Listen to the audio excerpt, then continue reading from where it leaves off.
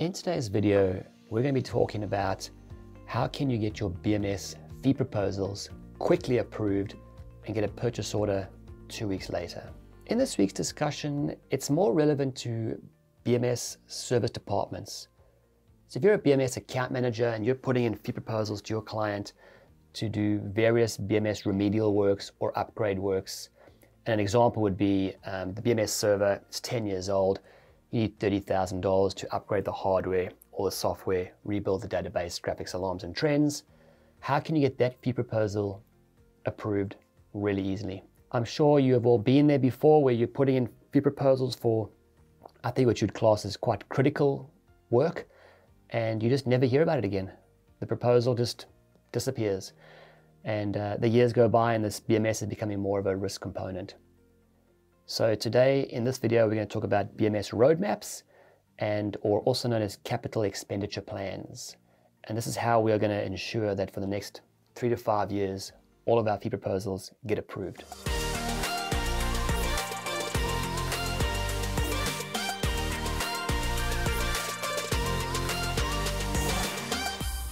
Let's imagine that you own an apartment, which you probably could do. Um, let's say the body corporate comes to you and says, hey, listen here, um, this building's 40 years old and all these external windows, they're starting to rot and we need to replace them. So we've got some pricing and next month we're going to start this work. We need $20,000 from each of the property owners. Do you think that every single property owner is going to have 20 grand just hanging around um, for some of this remedial works? Probably not. And the same thing applies in commercial buildings, commercial offices, for example. Um, they have a budget of how much money they're going to spend every year over 10 years. So a 40 story office building in the city, like it could have a $100 million 10 year plan. Um, not just chillers and boilers and fire panels, it could be some structural stuff and, and all sorts of things. So in this um, 10 year plan, um, which are, is often called a capital expenditure plan, they might have that, you know, in, in year three, there's $2 million to replace the chillers. And in five years, they're going to replace the boilers. And in 10 years, they're going to do a massive lift upgrade. Uh, maybe they're going to redo the foyer, whatever it is. So they have these really big plans. Now, guess who it is that decides what mechanicals 10-year plan is? So in this list, mechanical, electrical, fire, hydraulics, security. It's the mechanical consultant.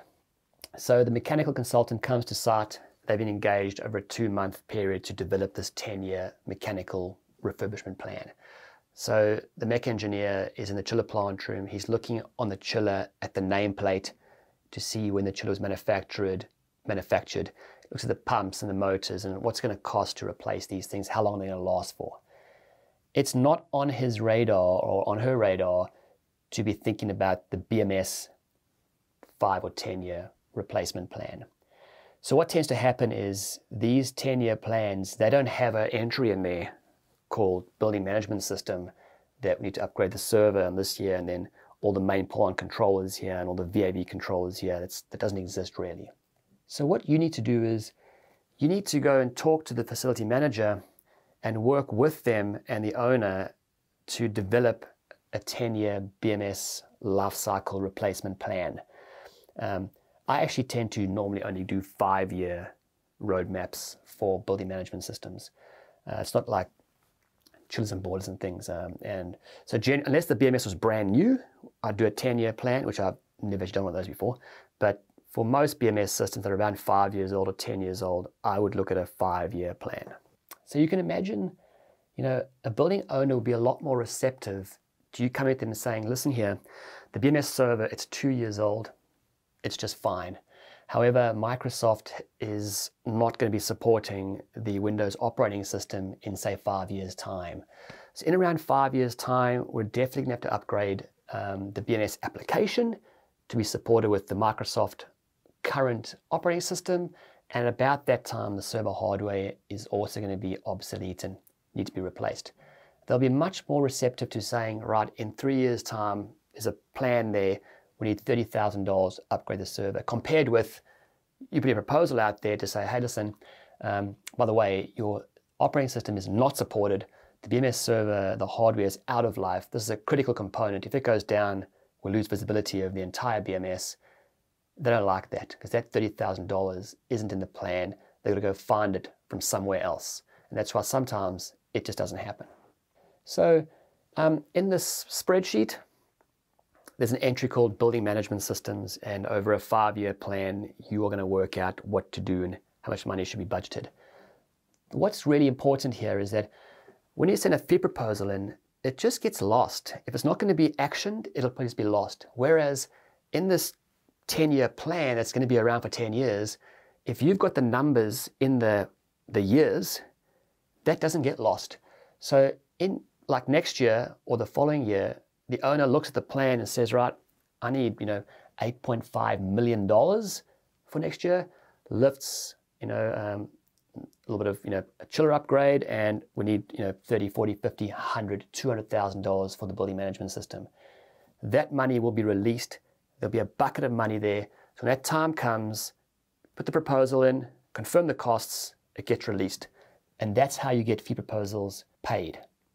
So what you want to be doing is you need to put together like a 20 page report um, of you know the end of life programs or the age or whatever of all the stuff that's in the building management system, but also extra stuff you want. You know, if you want an energy management system or a building analytics or you know want to do a recommission or um, you know control strategy optimization, those sort of things, get everything in there.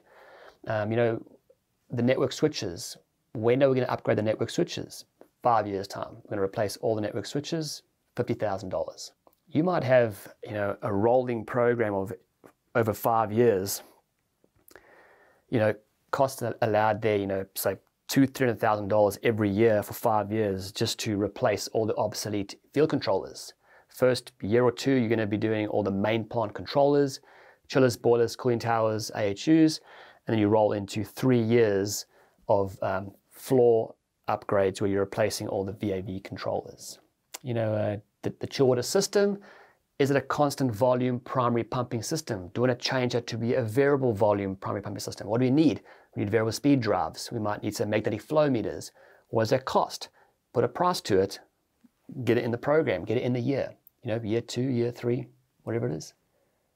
You know, does the um, does the client have a building energy efficiency plan, so a NABERS roadmap, because sometimes the environmental sustainability engineers will look at the energy model and stuff and, and work out, look to go from a four-star energy efficiency rating to a five-star energy efficiency rating, you need to do these things. You need to get a, you know, a better lift destination control system, or you need you know, new chillers or variable speed drives, you know, lobby lighting, all sorts of things. Can you get into that list? Because if you can um, get into the energy efficiency plan, that will also help justify the costs that have been building up in the capital expenditure plan to support this as well. So there's a few things really to think about there. And you need to put a lot of effort into this. This is not just going to be a two-week thing. You know, spend three months working on this plan, because if you do the hard work, it'll just pay off in the future. Can you imagine if you've got, say, 20, 30 buildings in the city and you've spent, you know, 12 months talking to the FM and building up and getting your numbers into the capital expenditure plans for all these buildings, done the hard work, what happens now is every year the budgets get released, the money comes out, and you, know, you do the work that was planned for that for that year. You might even find that your problem then becomes, how do I deliver on all this? I need resources, I need to get more people, I need to do it like on a re recruitment drive.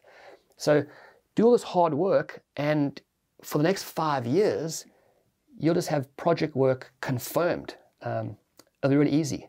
They won't be trying to think up projects like when it's too late and there's major failures because the money's in the budget. Now, the first thing you need to do is um, you need to ask the facility manager um, when in the year is your cutoff date for you to finalize the forecast for next year's budget. Because um, they're going to look at all sorts of things like, um, you know, the capital expenditure plan, what's the number for next year, plus maintenance costs and, you know, breakdown costs, whatever else is. So when you ask them, you know, when is that date, We talk to you about it um, so we get some things in the forecast for next year?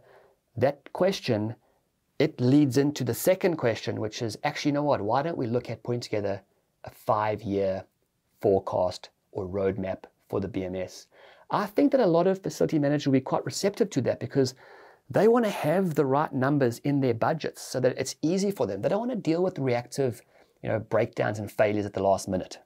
Now, before we wrap this up, the last thing is this is not a job just for the BMS account manager who is probably very busy trying to maintain 30 sites. So if you're a BMS service technician, try and be a bit more proactive about this.